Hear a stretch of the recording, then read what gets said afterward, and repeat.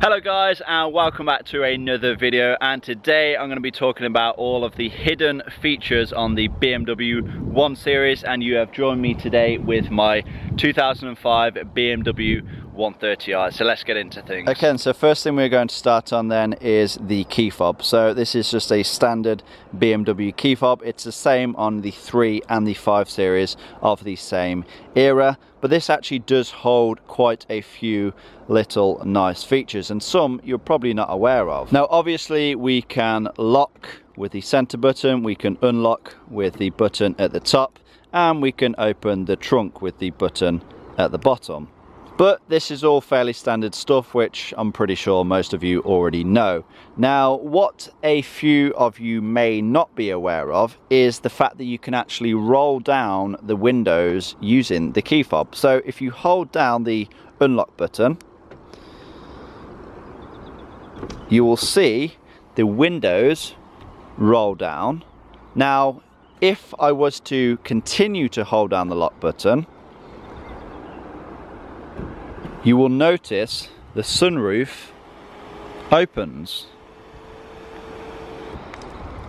Now you do all that just from holding down the unlock button and if you haven't already guessed you can actually roll up the windows and the sunroof in our case by holding down the lock button. As you'll see the windows will go up and then the sunroof will close. As you can see I'm still holding down the lock button. That is fully closed. Now some of you may have noticed the wing mirrors retracting as well. That is because I have the power fold mirrors and I have them coded to the key. Now say for example they are folded in like they are right now.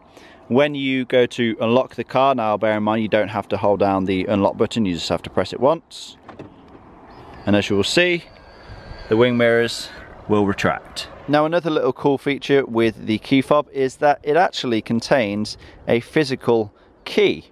Now let's say for example the battery in your key fob decides to go flat. Well with this key blade you can actually still gain entry to your car.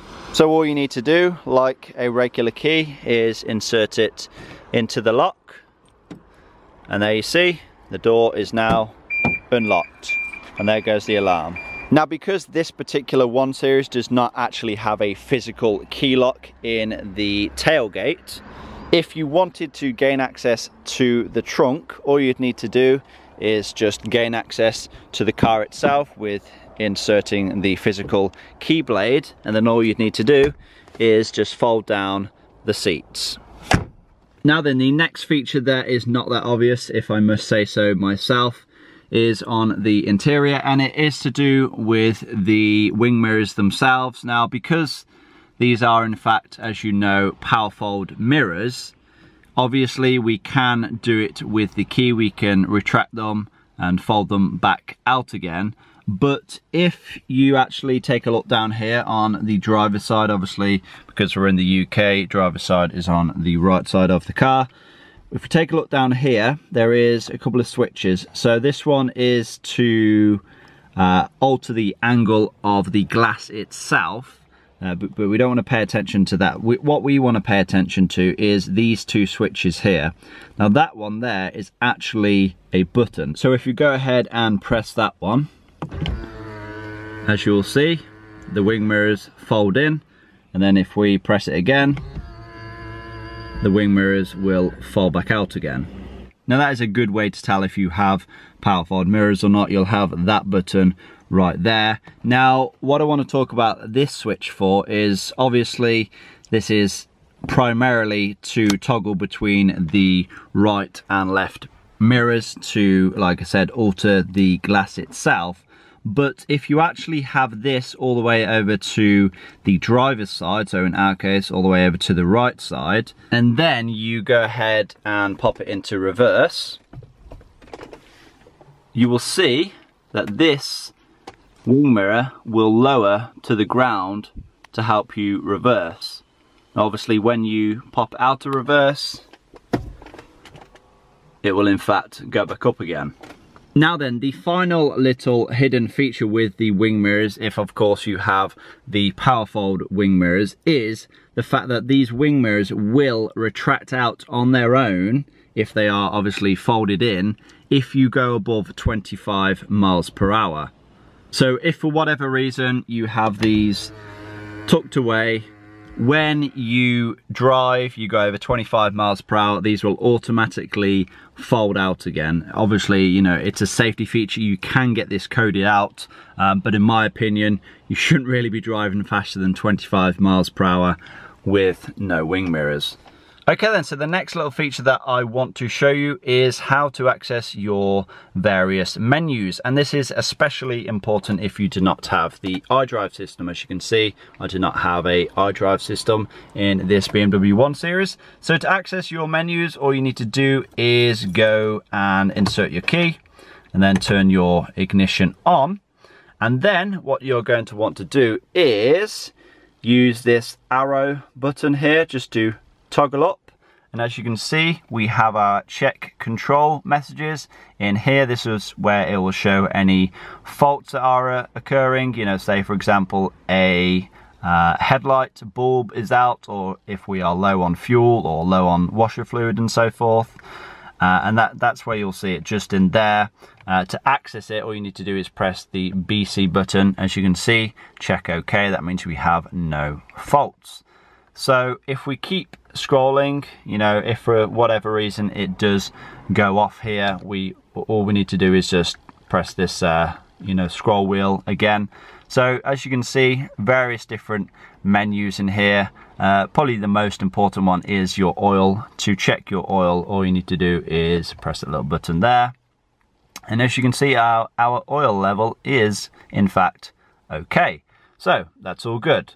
Now bear in mind you may or may not need to have your engine running for your oil level to register. Um, so that's something worth noting. Let's have a look at a few little other features. So that is our tire pressure uh, monitor that will detect if we have a sudden uh, drop in tire pressure and that that is used with the uh, ABS sensors to determine the drop in pressure. Uh, this is obviously just how to set the time and date. And this is our service info. So if we go ahead and select that with the BC button, we can scroll through our service information and this is how we reset all of our service reminders. So obviously we have oil, we have front brakes, rear brakes, spark plugs, um, service, I believe that's uh, state inspection for emissions, uh, brake fluids, and that looks like cabin filter, and then we are back to engine oil. So again, pretty standard stuff if you know these cars fairly well. But the next thing that I'm going to show you is how to access the secret menu. Now this is something that is not readily available for the average car user. This is something that typically the uh, BMW technicians will use in the dealership but it is something that you can actually access yourself and I'm going to show you exactly how to get to the secret menu right now. Now then, all you need to do is while the ignition is on, is hold down the trip odometer button right down there and you're going to have to hold it for around 10 seconds. So you'll see that triangle, then you will see the service intervals and then you should see that screen just there. That is exactly where we want to be. Now what you're going to want to do is add up these numbers at the bottom. So we have 8 plus 8 plus 2 plus 9 plus 9. So that is, if my math is correct, 36. Is it 36? Yes, it is 36. And now that we know what our number is, so in our case it is 36, we can now access a few little features. So for example, if we go ahead and hold this down until we are greeted with this, and then if we keep pressing the button again until we get to number 19, as you can see, lock on, it will then ask you to input a code. I'm gonna keep pressing this until I reach 36. There we go, 36. And then once you are back to here, then if we hold this down again And then if we scroll to number seven, you will then be greeted with your coolant temperature. So as you can see, there is no coolant temperature gauge on this car. You know, we don't even have an oil temperature. All we have is the fuel gauge. Uh, but this is actually the coolant temperature and that is exactly how you get to display this. Now there is in fact a couple of other features. I'll show you how to do a, a cluster sweep as well which is you know a pretty cool thing to do uh, just to make sure that all your cluster is working as it should. And all you need to do to do this is go back to the secret menu again, just hold this down for 10 seconds until you get to there and then you're going to want to hold this down for two seconds until you agree to with that and then you see KI test and then if we go ahead and press it as you can see it will do a cluster test and this is just essentially just testing all of the needles and ensuring that all of the lights are illuminating as they should.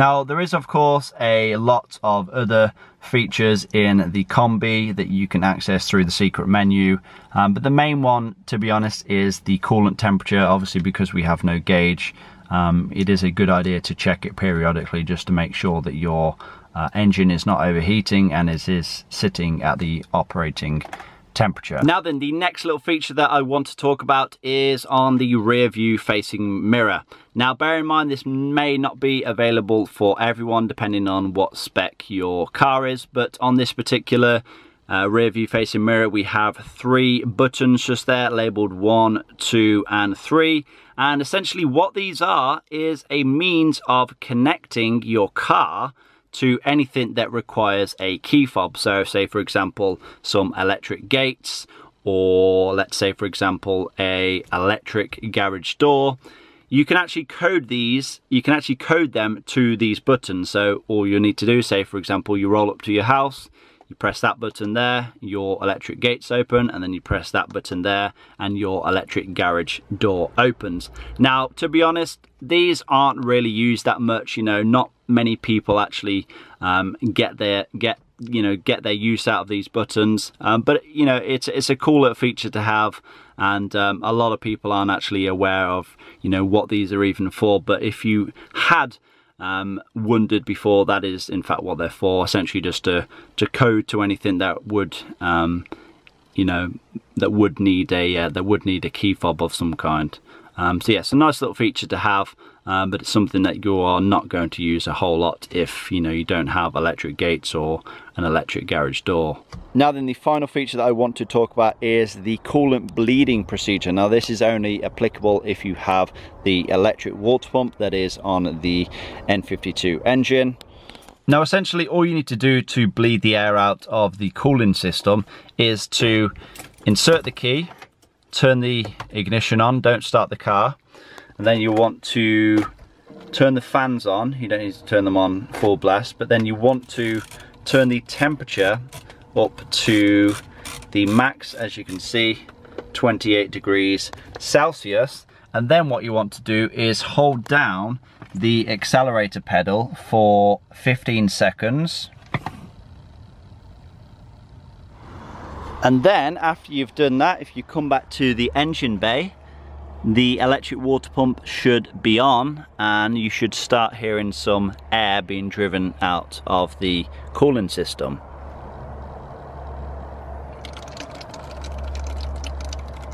There we go, it's forcing the air out.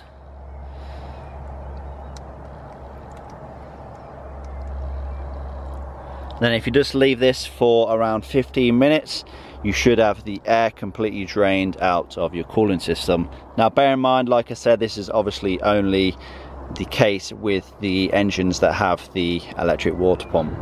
Okay then, so this has been the hidden features on the BMW 1 Series. I hope you guys have learned something today. I hope you guys have enjoyed it. Please give it a like, leave a comment down below, and if you want to see more videos on this car, consider subscribing, and I'll see you all in that next video. Peace!